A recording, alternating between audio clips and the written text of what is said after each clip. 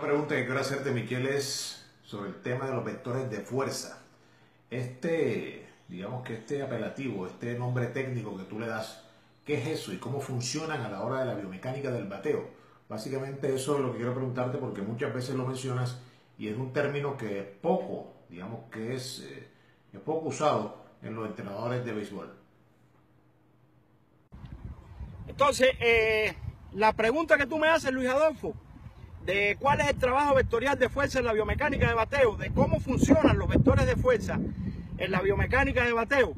Bueno, la biomecánica de bateo, en primera, te voy a explicar, porque hay muchas personas que tienen esa duda, hay muchos elementos de la física, de la cinética espacial, por ejemplo, que es una rama de la, física, de la cinética espacial de los movimientos en el espacio, eh, que hay, hay mucho de la física en la biomecánica de bateo y la inmensa mayoría de los bateadores incluso deben de regirse por estas leyes de la física. Entonces, ¿qué es lo que ocurre con el trabajo vectorial de fuerza? En la biomecánica de bateo fundamentalmente funcionan tres vectores de fuerza, que son el vector de la fuerza axial, que viene de arriba hacia abajo, es cuando él está parado acá.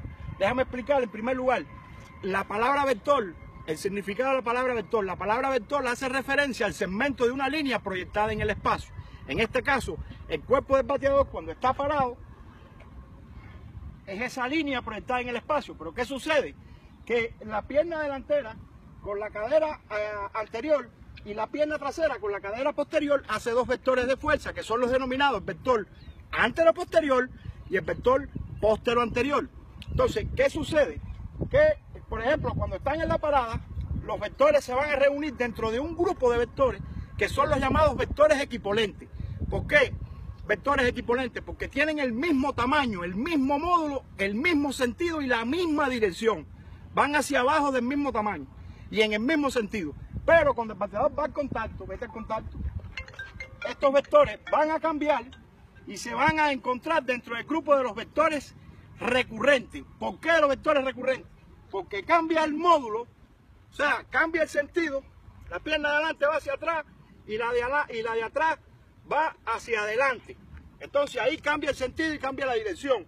La pierna de atrás se divide en L y la pierna de adelante queda extendida. Entonces ese mayormente, listo.